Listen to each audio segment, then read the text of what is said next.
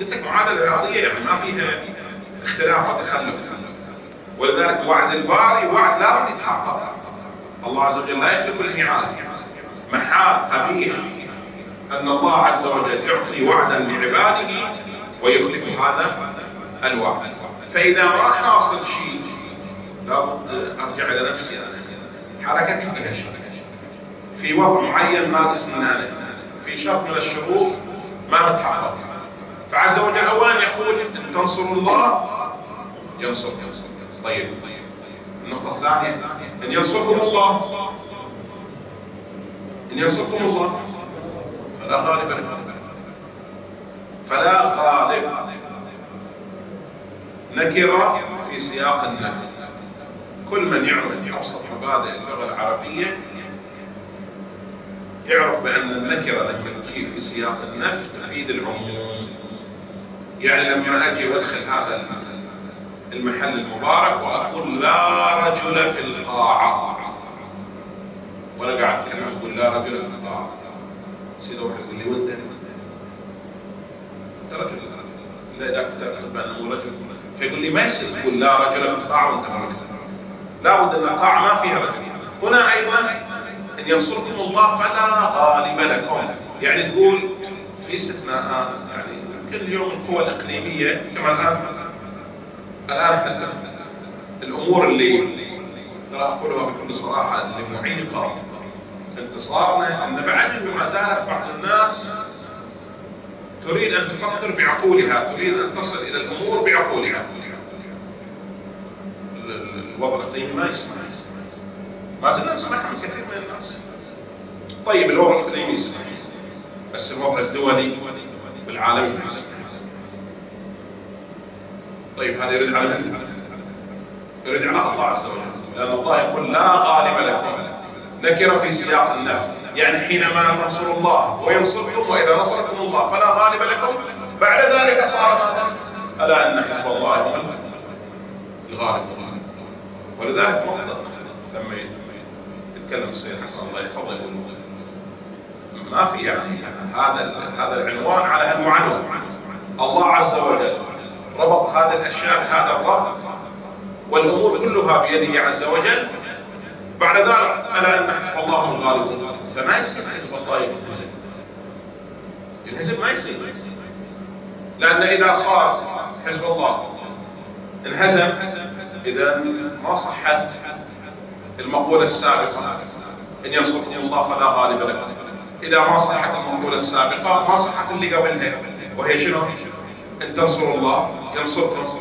واذا ما صحت هذه ما صحت مقولة إن الله لا يخلف الميعاد.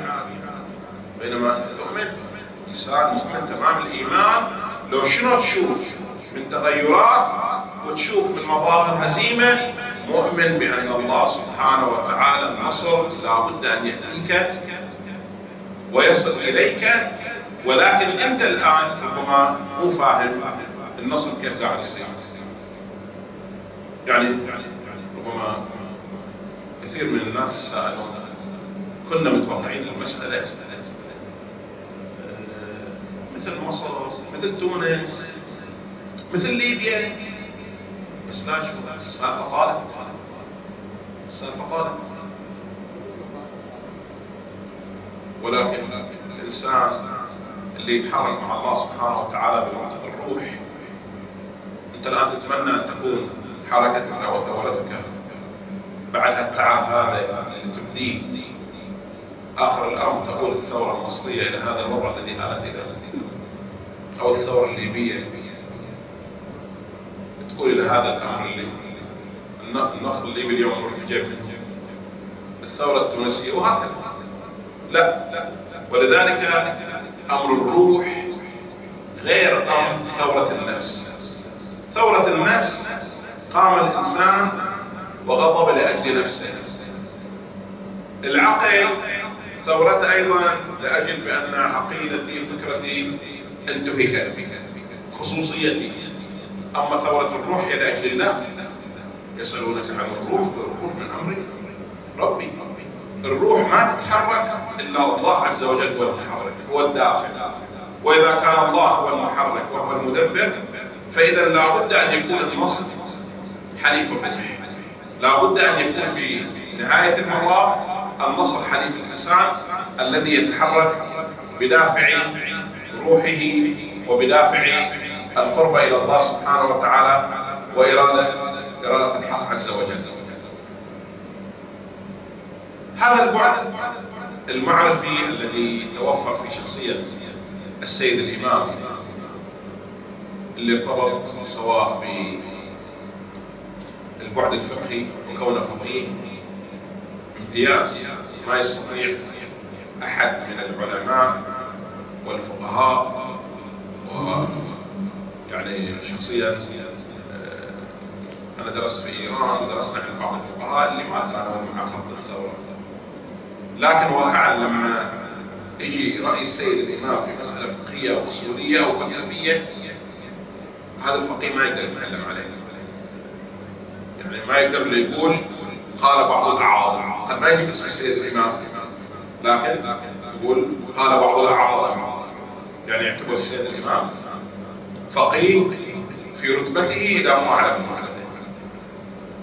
إذا جئنا إلى البعد الآخر في الفلسفة السيد الإمام أيضا فيلسوف الطراز الأول.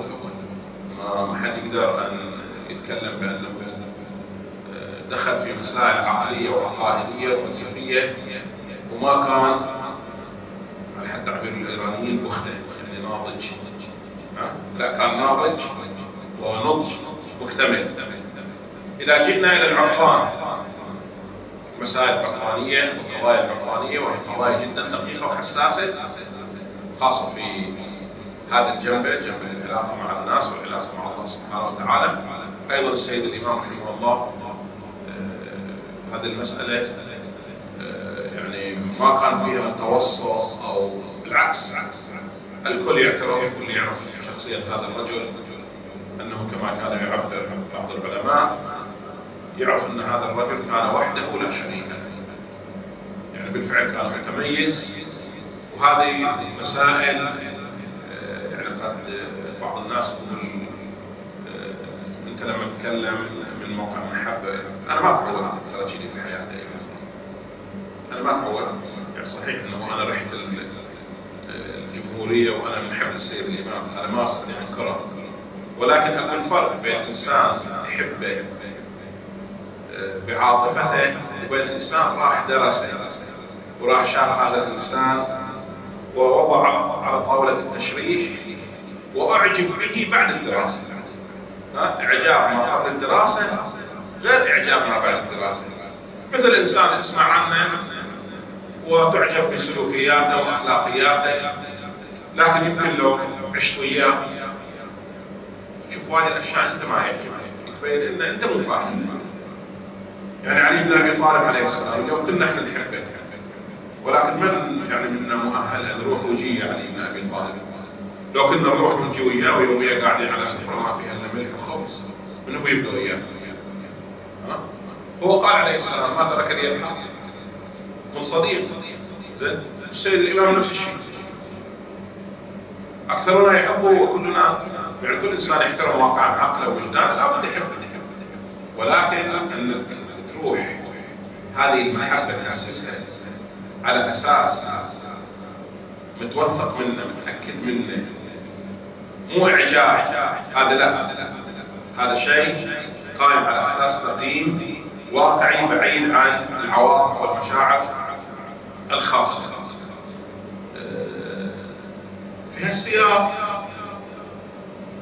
ربما في يعني جوانب لطيفة في الحديث عن الروح في جنبة روح المحبة أو روح العاشق. من المعلوم أيضا من المعروف؟ الثورات والتغيرات الكبرى حتى التغيرات اللي في نفس النفس حتى أنت أنت اليوم كثير من الناس المؤمنين يجي يقول ويشتكي؟ ويش في أنا كل ما أردت أتوب أرد أرجع للخطا نفسه اللي عبر عنه امامنا السجاد عليه السلام في دعاء أبي حمزة الثماني جاينا شهر رمضان الله يبلغنا واياكم زين؟ هذا دعاء أبي حامد الثماني. الإمام يقول عن حال هذا الإنسان المؤمن. إلهي مالي كلما قد صلحت سريرتي وقرب من مجلس التوابين مجلسي عرضت لي بلية ازاحتني عن الموقع سوف عمرنا ناس يظلون 60 70 سنة. بهالحالة هذه. التغيير أيضا ما يصير في حياة الإنسان إلا إذا دخل الحب والعشق والدليل نقرأه في آه، مناجات من المناجات من المناجات اللي حث كثير السيد الإمام عليها وهي مناجات هذا الشهر المناجات الشعبانية. السيد الإمام كثير كان يتكلم عن هذه المناجات ويحث ويحث الناس على قراءتها. في هذه المناجات الأمير مناجات الأمير عليه السلام يقول عليه الصلاة والسلام أمير المؤمنين إلهي لم يكن لي حول أن أنتقل عن معصيتك إلا في وقت أيقظتني لمحبتك يعني الإنسان اللي يعبد الله عبادة الخوف أو يعبد الله عز وجل عبادة الرغبة العبيد أو التجار. العبد أو التاجر. إذا شاف اللي يعبده وشعر بانه مو موجود يطلع من النار يسبه كذي. ها؟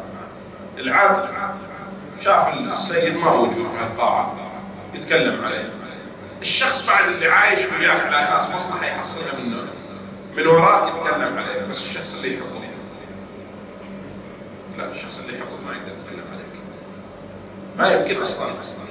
المحب يكون ذائب في المعشوق.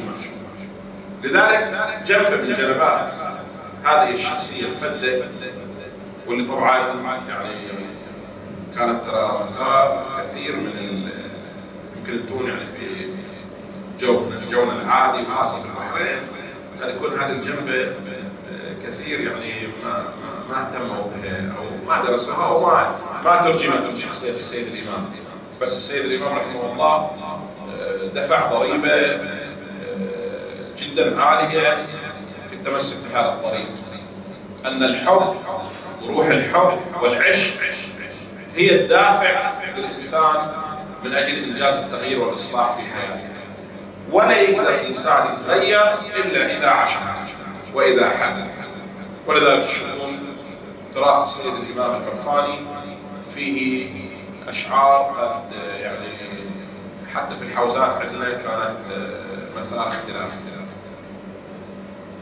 ترى السيد الإمام رحمه الله كان بعض اساتذتنا الشيخ الجواد الآمري يقول درس ترى الفلسفة والعرفان قبل لا يموت السيد الإمام. يعني اغتنموا الفرصة. إذا مات السيد الامام الإمام يمكن مراجع واجد يحرمون دراسة الفلسفة والعرفان. يعني مثل ما تشوفون اليوم في في حوزة النجف مثلا ما في تدريس هاتين المادتين إلا بشكل جدا محدود وأساتذة جدا معدودين. بينما في حوزة القوم آه لا الدرس الفلسفي والدرس العرفاني وخاصه في مرحلة وجود السيد الإمام رحمه الله كان ازدهر تمام الازدهار. آه السيد الإمام أيضا في آه مرحلة اللي كان مدرس في حوزة القوم يعني قبل أن يشتغل ويكون مرجع آه أيضا عانى الكثير حتى هو كان يقول بأنه وصلت الأمور إلى أن بعض الطلاب لما يروح السيد مصطفى الله يرحمه يشرب من الكاس يجون يغسلون الكاس ظهرنا يعني إلى الحد هذا وأنا أتذكر سالفه قالها لنا أستاذنا اللي درسنا الفلسفة الاستاذ عبد الله شيخ عباسي درسنا في حجره 19 في حرم المعصوم عليه السلام. اللي رايحين يشوفون من الحرم محاط بمجموعة من الغرف الصغيرة. فدرسنا في غرفة رقم 19 كان مدرس اسمه آية الله عباس. باللغة الفارسية طبعا درس المنظومه ف يوم من الأيام كان يجيب لنا سالفه يقول ترى هذه الحجرة حجرة مباركة. هذه الحجرة درس فيها درس فيها السيد الإمام الفلسفة. يعني دروسه كان يعطيها في هذه الغرفة. والحمد لله ترى أنتم جالسين في غرفة يعني فيها بركة وأنفاس. السيد الإمام رحمه الله. آه، فيقول هو الشيخ عباس يقول بأن أنا قال لي سالفة آه، أحد الخدم للشيوبه في حرم المعصومه آه، يقول إن السيد الإمام كان يدرس في هذه الغرفة دروس كلها يعني فلسفه العرفان الفقه الأصول. وفي هذه الغرفة كان يدرس بعد واحد من المراجع الكبار. بس يقول ما قال اسمه.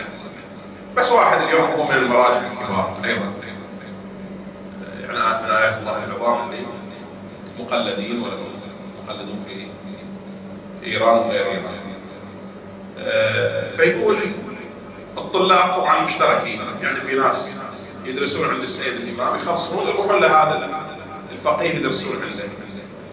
فكان هذا الفقيه على مسلك مخالف للسيد الإمام. هو وطلابه ما يرتضون دراسة الفلسفة ولا العرفان ما ما يسمحون ويرون بأنه دراسة الفلسفة والعرفان كفر ولا يجوز. انزين يوم ثاني طلبة السيد الإمام اللي راحوا وسمعوا كلام وحكي وتعريض بالسيد الإمام يرجعون للسيد الإمام ويقولوا له ترى فلان يقول كذي وهؤلاء الطلبة يقولوا كذي عنك عن درسك السيد الإمام شو يعود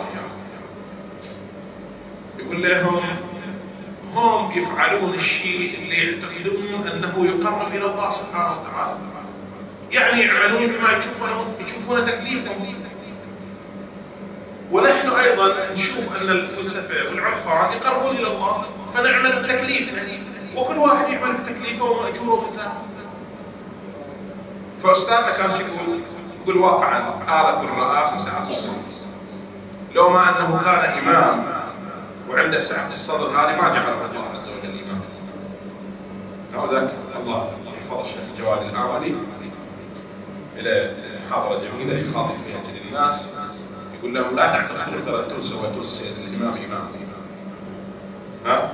إمام صار من الله عز وجل. مو أنتم سويتون إمام. لا يكون الفقيه فقيها حتى يدعى في السماء فقيها. الإمام نفس الشيء. إني جاعل للناس إماما. الامامه ترى مو شيء يأتي من حوزة كذا وحوزة كذا. اذا إذا لحد اليوم موجود ناس يعتقدون كذي ترى هذا فهم لا هو إسلامي ولا هو ديني أن الله عز وجل الذي يجعل الإنسان اماما للناس وهذه الإمامة تحتاج الوصول إليها اختبارات صعبة. لا ينجح فيها إلا القلائل جدا جدا. لا ينجح فيها إلا السابقون المقربون. ولذلك الإنسان اللي بيشوف حياة هذا الرجل. لا تعتقدون ان حياته.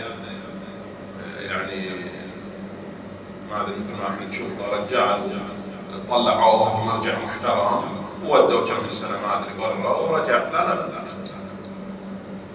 السيد الإمام الله عز وجل رباه ولذلك كان جميل. دائما تشوفون في كتبه آه، يقول هو نص عبارته تقريبا يقول هاتان الآيتان وهما قوله عز وجل ولتصنع على عيني واصطنعتك لنفسي. هاتان الآيتان جاءتا في حق من؟ في حق موسى عليه السلام. الايتين كلاهما. ولتصنع على عيني. الله عز وجل تكلم عن موسى. واصطنعتك لنفسي. يقول هاتان الآيتان قرة عين الأولياء. يعني الولي يفهم شنو معناهم الولي اللي يتربى على عين الله عز وجل يفهم شنو معنى الآية. وإن طفل رضيع الله عز وجل يوحي له ما نقذفيه في اليم ها؟ اليم يأخذ بالساحل يأخذ واحد يقول لي واحد يقول لا وبعدين هذا العدو بعد آه، قاعد يشرد بطون النساء الحمى لأن كهنة بني إسرائيل اخبروه أنه في هذا الزمان يولد ولد هو الذي يقضي على ملكه. وبعدين رب العالمين يبين بأنه خير الماكرين. يقوم يلقي رحمة على زوجة قلب زوجة فرعون. ويميل قلبها إلى هذا الولد اللي تشوفه في اليم أو في البحر. وتعال بناخذه ونربيه ويتربى في بيت فرعون ويرجع له. قصة يعني هذا لو لو أي إنسان يسويها فيلم ما بتجي له. صح؟ وإذا بعد ذلك فرعون هذا الولد اللي رباه واللي افترضه في قصر في قصره واللي عين بعد ذلك الذي ربك فينا. وليدا بينات إحنا بس رب العالمين أراد شيئا معين لابد هذا الشيء. لأنه إرادة الله عز وجل دائما وابدا هي الغالبة. لذلك لما نفهم آه، بعد من أبعاد حياة السيد الإمام الله عليه في كونه شاهد على الامه هذه الشهادة التي يلتفت بعض المؤرخين لسيره السيد الإمام رحمه الله يقول أن كما يقول عز وجل في الآية وليتخذ منكم شهداء. إن هذه الابتلاءات اللي تمر على بعض الناس منكم الله يريد ياخذهم شهداء. شهداء يعني شنو؟ يوم. في يوم من الأيام بيجي. فلان اللي كم من مرة اللي عمره كله في السجون واللي شاف واللي شاف. رب العالمين مهيئ له مقام مو هذا اللي في الدنيا. مو مقام إنه يصير ما أدري محل رئيس الوزراء أو محل الملك أو محل المدير الفلاني أو السكرتير الفلاني. لا لا لا. وليتخذ منكم شهداء بيجي يوم من الأيام. بأن هذا فلان اللي قضى طول عمره في السجون والعناء. الله عز وجل يوقف البشر كلهم. ويكون مع الأئمة عليهم السلام ومع رجال مع الأعراف يعرفون كل بسيماهم يريدهم لهالرتبه هذه. هذا الرجل يقول المؤرخ الشيخ العلى الروحاني آخر أسماء في كتاب عن تاريخ إيران وسيره السيد الإمام رحمه الله عليه يقول من الأشياء العجيبة اللي صارت في حياة السيد الإمام من صغره من صغير أن يصادف أنه يوم اللي يعني قبل أيام الشاه محمد رضا من أيام والده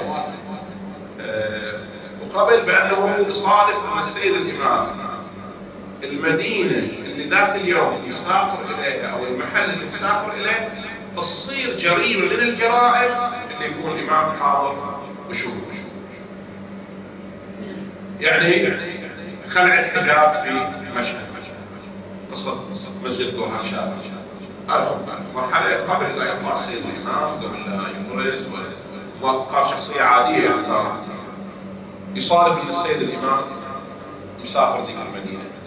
ما أدري شنو صار في اصفهان هذه القضية الفلانية في اصفهان شنو صارت. من النظام والسلطه وصار قتل وكذا. يصادف ان السيد الامام مسافر ذاك اليوم اصفهان صار ما ادري شنو؟ قضية في عبادان.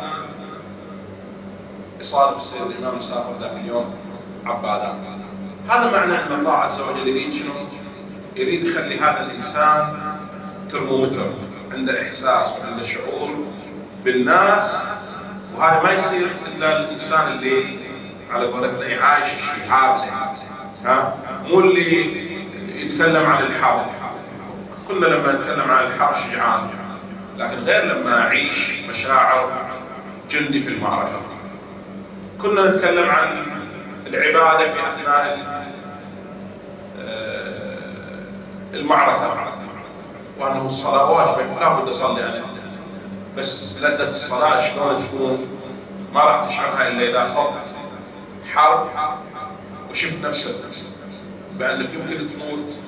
لكن لما تصلي تقول أقدم الصلاة مع ذلك تشعر بحالات روحانية ونفسية ما يمكن أن أن تشعرها في الحالات العادية.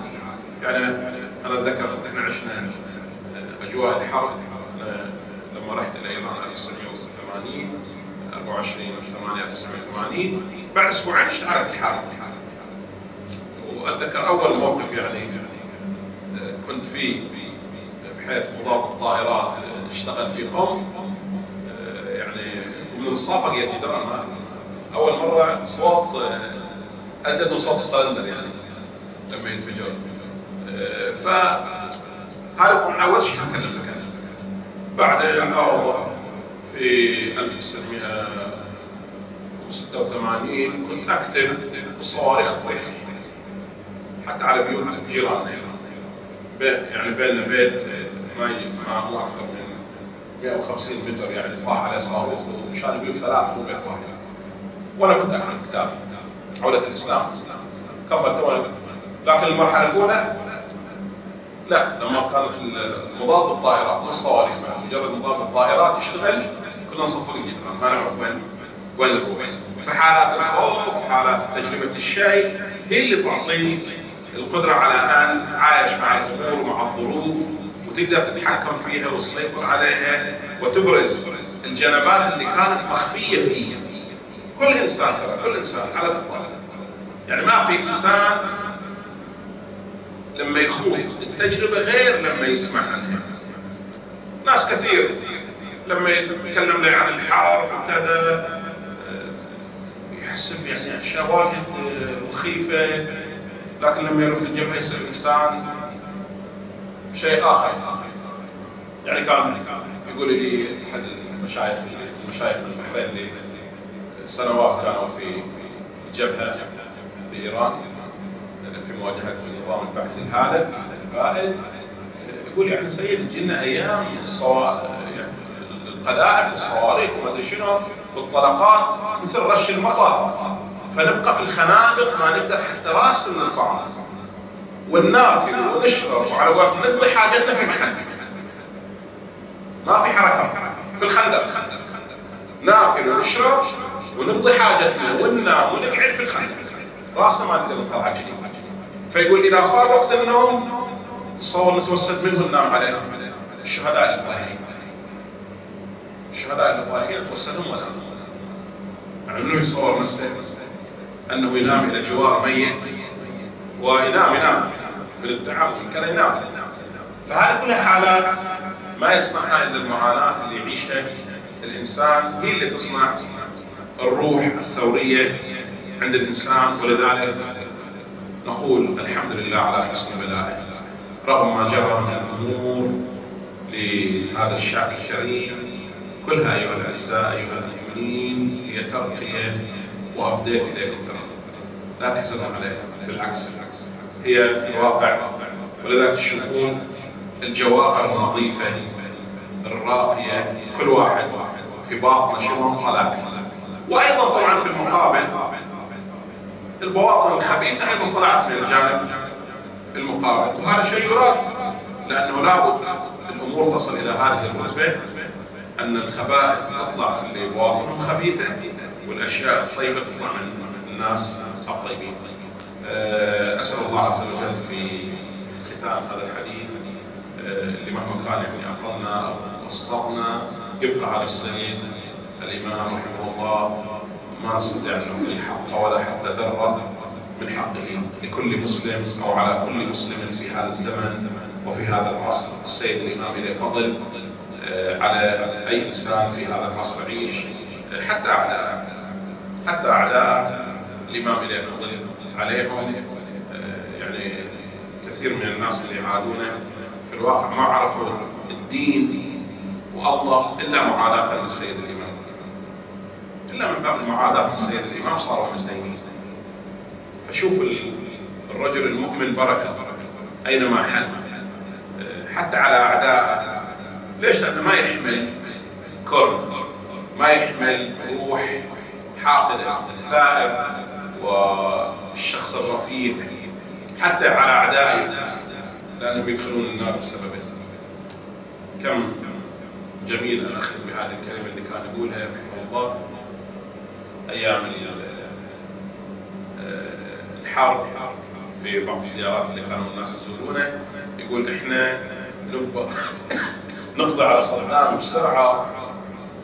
لأن صدام كل ما بقى في الدنيا زادت ذنوبه وإذا زادت ذنوبه بزيد شنو؟ عذابه في الآخرة فنحن نبغى نقتله بسرعة نقضي عليه عشان لا يزيد عذابه في الآخرة هكذا تتعامل الروح الطاهرة والرفيعة الشأن والناس أصحاب المستويات العالية هكذا يتعاملون مع أعدائهم فضلا عن أحبائهم وأصدقائهم. أه رحم الله السيد الإمام و بقول الله يحشرهم على الائمه عرف ان الله أكيد هذا الرجل أكيد حاشرنا عليه أسأل الله أن يرفع في درجاته ويعلي ذكره ويجعلنا من المهتدين والمكتفين بسيرته وبأثره والحمد لله رب العالمين. والصلاة والسلام على